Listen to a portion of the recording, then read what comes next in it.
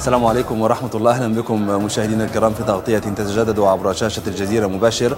لنتابع سويا مؤشرات الأسواق العربية والخليجية والعالمية وأيضا أسواق النفط والعملات والمعادن.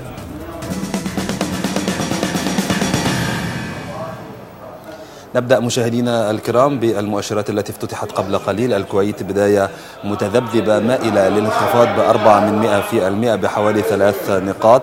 والمؤشر في حدود 6360 نقطة. أما في تعاملات أمس في بورصة الكويت فنتابع أداء المؤشرات المختلفة والتي تباينت أمس.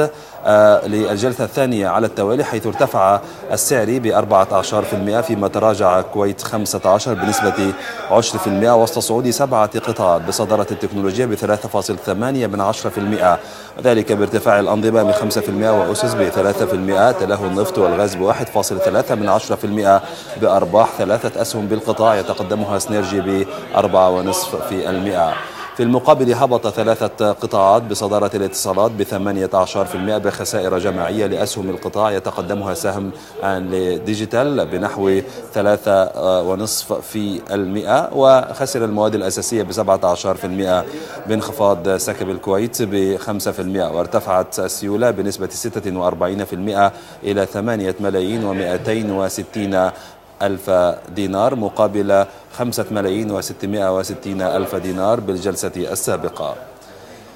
إلى الإمارات أبو ظبي ارتفاع بعشرين في المئة في التعاملات الآنية بحوالي عشر نقاط المؤشر عند أربعة ألاف وثلاثمائة وتسع وعشرين نقطة. وفي تعاملات أمس في أبو ظبي سجل المؤشر الرئيس تراجعات بنسبة 14% بضغط من تراجع خمسة قطاعات أبرزها الاتصالات بنسبة 18% وهبط العقارات ب 16% بهبوط سهمي رأس الخيمة العقارية وإشراق بنسبة 1.5% لكل منهما وخسر قطاع البنوك بنسبة 13% بتراجع أبو ظبي التجاري ب 17% وأبو ظبي الإسلامي بنصف نقطة مئوية وأبو ظبي الأول بنصف نقطة مئوية.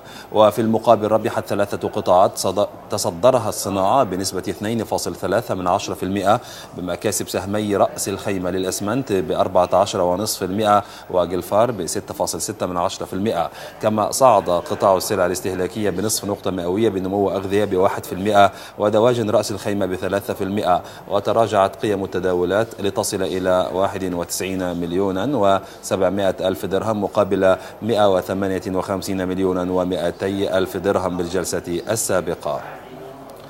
نبقى في الإمارات ونذهب إلى دبي حيث تذبذب مائل للارتفاع بأقل من النقطة الواحدة المؤشر عند 3332 نقطة.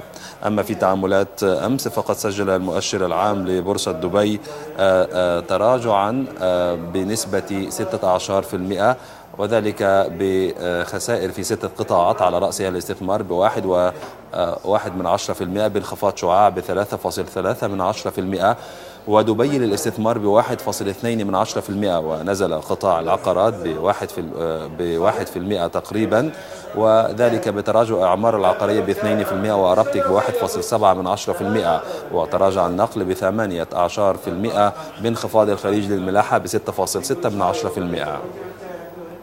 وفي المقابل صعد قطاعا. أولهما الخدمات ب 18% بصعود تبريد ب 1.1 من 10% وربح الاتصالات ب 2 من 10% بنمو الاتصالات المتكاملة دو بنفس النسبة وارتفعت السيولة بنسبة 3.5 في المئة إلى 373 مليونا و400 ألف درهم مقابل 386 مليونا و700 ألف درهم بالجلسة السابقة. نبقى في الأسواق التي بدأت التعاملات منذ قليل البحرين انخفاض بستة عشر في المئة وسلطنة عمان مرتفعة بنصف نقطة مئوية بحوالي 23 نقطة. إلى الأسواق التي لم تبدأ بعد حتى الآن ونبدأ من السوق القطري الذي على وشك الانطلاق في رابع جلسات هذا الأسبوع حيث سجل الثلاثاء تراجعا بنسبة 18% بهبوط ستة قطاعات أبرزها العقارات ب 1% لانخفاض أسهمه الأربعة على رأسها مزايا قطر ب 2.2% وهبطت الصناعة ب 16% بتراجع أسهم تصدرها تصدرها التحويلية ب 2.3 من 10% وخسر البنوك ب 16% بانخفاض تسعة أسهم تقدمها الإجارة القابضة ب 2.4 من 10 في المئة وعلى الجانب الآخر ارتفع قطاع التأمين وحيدا بنسبة نصف نقطة مئوية لنمو سهمي العام ب 3.19% والخليج التكافلي ب 1.6% وخسرت القيمة السوقية أمس مليارين و300 مليون ريال لتسجل بنهاية التداولات 471 مليارا و100 مليون ريال. وتراجعت السيولة إلى 184 مليونا و400 ألف ريال مقابل 192 مليونا و500 ألف ريال في الجلسة السابقة. نتابع انطلاقة البورصة الآن في رابع جلسات هذا الأسبوع وها هي تتلون باللون الأخضر مع بداية التعاملات بنصف نقطة مئوية بحوالي 40 نقطة والمؤشر يصعد إلى 8541 نقطة. نبقى في المؤشرات التي لم تبدأ بعد ونذهب إلى السعودية ونتابع في أداء أمس في بورصة السعودية ومؤشر تاسي الذي أغلق مرتفعا بنصف نقطة مئوية تقريبا بدعم من مكاسب 15 قطاعا بصدارة إدارة وتطوير العقارات بنسبة 1.5% بارتفاع دار الأركان ب 8% تقريبا وإعمار ب 1.3 من 10% تلاه المرافق العامة ب 1.3 من 10% بنمو كهرباء السعودية ب 13% وصعد المواد الأساسية ب 13% بمكاسب كيمانول ب 3.2 من 10% وأسلاك ب 2.2 من 10% وفي المقابل هبطت خمسة قطاعات بصدارة الصناديق العقارية ب 17% بانخفاض جدوى ريد ب 2.2 من 10% والجزيرة REIT ب 18% تلاه الأدوية بنسبة نصف نقطة مئوية بتراجع سهم الدوائية كما ارتفعت أو ارتفع مؤشر السوق الموازية بنمو بنسبة 5% تعادل 158 نقطة عند مستوى 3259 نقطة. إلى مصر فقد أنهى مؤشر البورصة الرئيس EGX 30 أمس مرتفعا بنسبة نصف نقطة مئوية بصعود سبعة قطاعات بصدارة المنتجات المنزلية بواحد ونصف في المئة بارتفاع ستيرن كامباني باثنين في المئة ودايس باثنين في المئة وربح قطاع البنوك بواحد فاصل اثنين من عشرة في المئة بنمو التجاري الدولي بواحد فاصل سبعة من عشرة في المئة وقطر الوطني باثنين فاصل خمسة من عشرة في المئة.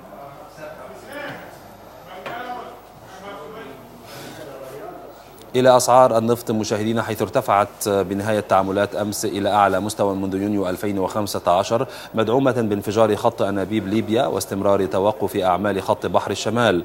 وصعد سعر العقود الآجلة للخام الأمريكي نايمكس إلى 59 دولارا و97 سنتا للبرميل مرتفعا بنحو 2.6 من 10% بينما ارتفع خام برنت بنسبة 2.1 من 10% إلى 66 دولارا و60 سنتا للبرميل. واستفادت أسعار النفط من توقعات بشأن خسائر في المعروض النفطي في ليبيا بعد انفجار خط أنابيب رئيسي ينتج نحو 260 ألف برميل يوميا. كما تأتي المكاسب على خلفية استمرار توقف الأعمال في خط أنابيب فورتيز في بحر الشمال والذي يضخ نحو 450 ألف برميل يوميا مع توقعات بمواصلة أعماله بحلول يناير المقبل.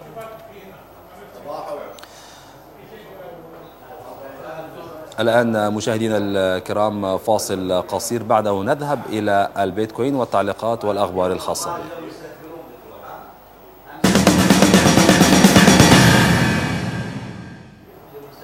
إذا هاشتاج بيتكوين هل يمكنكم أن تستثمروا في هذه العملات الرقمية؟